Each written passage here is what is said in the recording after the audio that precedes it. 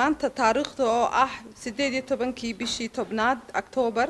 2018 ama laba kun iyo sideed iyo toban waxaa halkan isugu yimid haween haweynaha somalilan oo ka kala yimid ururada bulshada intellectualska looyarada dhakhaatiirta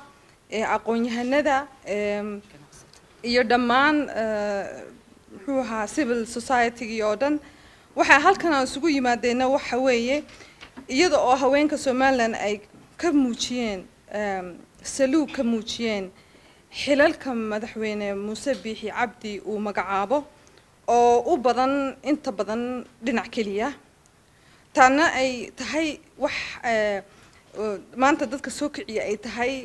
magacaabadiisii u dambeysay oo ahaa sagaal iyo toban qof oo loo magacaabay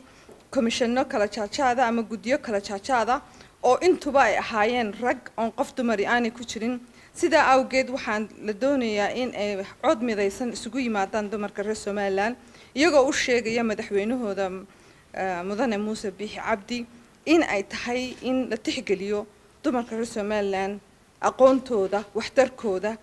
iyo qeybaha ay kaga jiraan bulshada dham ahaanba. Ururada bulshada gaar ahaan ururada haweenka somalilan waxay si cad tabasho uga muujinayaan nidaamka xulashada ee madaxweynaha jamhuuriyadda somalilan mudane muuse biixi cabdi uu ku soo magacaabo xukuumaddiisa haddii ay tahay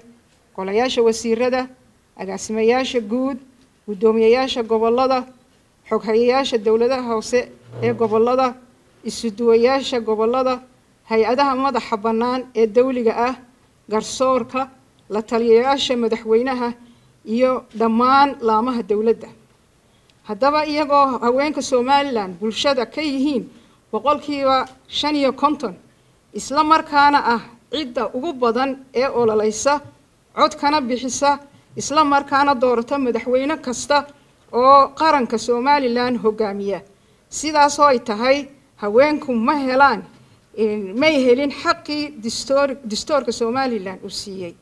Ugu dambeyn waxa ay haweenka somalilan ugu baaqayaan madaxweynaha jamhuuriyadda somalilan mudane muuse biixi cabdi inay haweenku helaan xaqooda distooriga ah